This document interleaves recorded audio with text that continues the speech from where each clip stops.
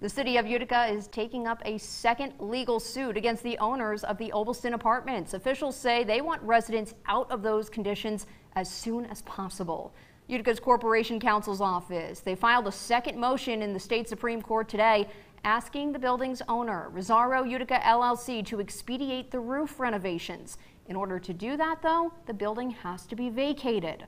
The city filed a previous motion indicating the roof needed repair by November 1st.